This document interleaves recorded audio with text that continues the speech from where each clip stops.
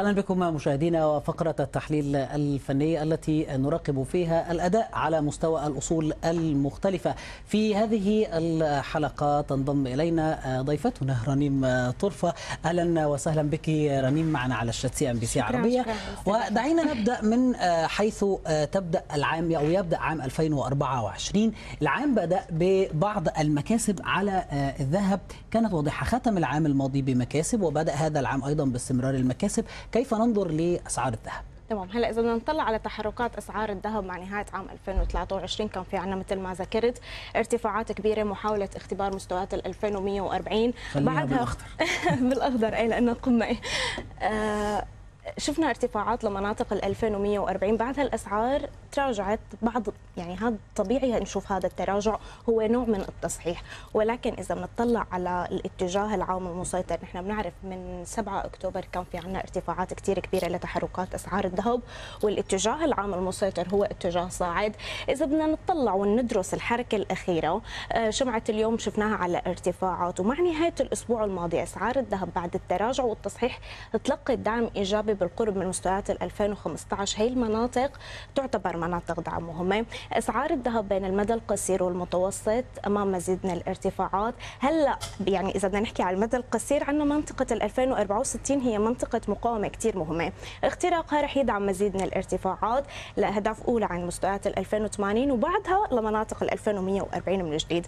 أي تراجع ونوع من التصحيح لمناطق ال 2030 بعدها ل 2015 تعتبر مناطق دعم مهمة ومناطق ارتداد أي تراجع لل 2015 بشكل عام هو تراجع مقبول غير هيك كسر دون هي المستويات هذا رح نوعا ما خلينا رح يخلينا نشوف تحركات أسعار الذهب مزيد من الضغط البيعي والتصحيح يبدو ممكن لمناطق ال 1975 على المستوى الأساسي يعني المؤثرات تبدو تدعم أسعار الذهب للارتفاع للأعلى ولكن ماذا عن الدولار؟ الدولار ينظر للمستثمر باعتبار إنه سوف يحدث عليه عمليات تصحيح نتيجة خفض مرتقب لمعدلات الفائدة، هل هذا بناء على التحليل الفني وارد أم لا؟ تمام هلا بالنسبة لتحركات الدولار الأمريكي بعد التراجع ومحاولة اختبار مستويات ال100 عاد الدولار وارتفع. إذا بدنا نحكي كمان على الحركة الأخيرة نوع من الحركة الجانبية الحيادية نوعا ما في ترقب لمزيد من البيانات بيانات التضخم. نحن شفنا خلال جلسة يوم الجمعة بيانات التضخم أعطت بعض الدافع للدولار الأمريكي ولكن بشكل عام ما زالت بيانات غير واضحة إذا بدنا نحكي من الناحية الأساسية ما زالت بيانات غير واضحة للدولار الأمريكي وبنفس الشيء من الناحية الفنية عندنا مناطق مقاومة مهمة بالقرب من مستويات ال 123 خروج المؤشر الدولار من هي المستويات رح يدعم مزيد من الارتفاعات وممكن بعدها نشوف مناطق ال 104 ولكن أنا مثل هذا السيناريو بشوفه شوي مستبعد ممكن على المدى القصير للمتوسط الدولار الأمريكي هو السيناريو السيناريو إنه يتعرض لبعض الضغوطات البيعية هو السيناريو المفضل ولكن ما زلنا بانتظار مزيد من البيانات هذا الأسبوع عندنا مبيعات التجزئة الأساسية صحيح. كمان رح تعطي نظرة أوسع للدولار الأمريكي بعد الحركة الحيادية الأخيرة طيب. اللي شفناها بما أننا أيضا نتحدث عن توترات في منطقة الشرق الأوسط وأسعار النفط رغم هذه التوترات إلا أنه واضح من الرسم اللي أنت رسماه أنه هناك اتجاه هابط لأسعار الخامات منذ العام الماضي بعدما وصلنا للذروة شهدنا تراجعات حادة رغم تخفيضات أوبك إلا إنه الأسعار لا زالت في إطار هابط. تمام هلا بالنسبة إذا بنطلع مثل ما ذكرت حضرتك على الاتجاه العام الأخير المسيطر اتجاه هابط من سبتمبر العام الماضي. خلال التعاملات الأخيرة كان في محاولة من الارتفاعات مع التوترات زيادة التوترات. أعطت بعض الدافع لأسعار النفط ولخام نايمكس لأنه يشهد بعض الارتفاعات ولكن هذه الارتفاعات وشمعة اليوم نلاحظ كمان مستقرة بعض الشيء. ممكن نشوف ارتفاعات لمستويات 76 ولكن هي المنطقة هي منطقة مقاومة مهمة بالتزامن مع خط الاتجاه الهابط. ممكن نشوف عودة الضغط البيعي من جديد عند هي المستويات والتراجع لمزيد من لمناطق وكسر مستويات ال 70 دولار للبرميل والتوجه لمستويات وقاع ال 68 دولار. بالنسبة لخام نايمكس هو السيناريو الوارد. إذا على المدى القصير ممكن نشوف ارتفاعات عند ال 76 تعتبر منطقة مقاومة مهمة وبعدها الأسعار رح ترجع وتتراجع لما واختبار مناطق ال 68 دولار طيب. ننظر إلى أيضا زوج اليورو دولار. زوج اليورو دولار. إحنا مستويات ال 1.1 المستويات التي كنا عندها تراجعنا عنها قليلا. ولكن يبدو أننا نستهدف مستويات ال 1.1 وربما أعلى من ذلك لقوة اليورو مع ربما طول أمد أسعار الفائدة المرتفعة في أوروبا. تمام. بالنسبة لتحركات اليورو والحركة الأخيرة مثل ما شايفين من ناحية الاتجاه اتجاه صاعد آه، الزوج حاول اختبار مستويات الواحد فاصلة 11 وبعدها شفنا نوع من التصحيح.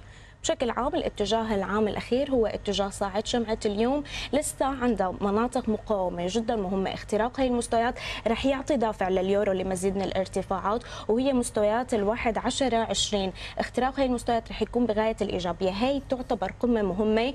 آه، إذا نجح الزوج باختراق هذه المستويات رح يدعم ذلك مزيد من الارتفاعات. وممكن نشوف اختراق كمان لمستويات الواحد فاصلة 11 أي تراجع آه، يعتبر لدينا مناطق دعم بالقرب من مستويات ال 1.09 وهي المناطق يعني شفنا الحركة الأخيرة حركة اليورو. يعني على مدى عدة جلسات اليورو عم يتداول عند هي المستويات. فشل بإنه يكسر هذه المستويات. لهيك بعتبر هي المناطق هي منطقة دعم مهمة ومناطق ارتداد على المدى القصير والمتوسط. ولسه نوعا ما بالنسبة لليورو يعني أنا متفائلة وخاصة إنه في توقعات بإنه الفجوة بين طيب. البنوك المركزية ممكن إنها تقل. فهذا ممكن إنه يعطي طيب دعم أخيرا للدو جونز باعتبار إنه الأسواق الأمريكية في عطلة بمناسبة مارتن لوثر كينج يوم مارتن لوثر كينج ولكن الأسواق الأمريكية هناك حالة أيضا من التذبذب نشهدها منذ بداية العام. في الرالي كنا شاهدنا بداية آه، قوية لكن آه، آه، هذه أو في بداية هذا العام بعض التراجع على الدو جونز. تمام. بالنسبة لتحركات الدو جونز الأخيرة بنلاحظ الاتجاه العام المسيطر اتجاه صاعد.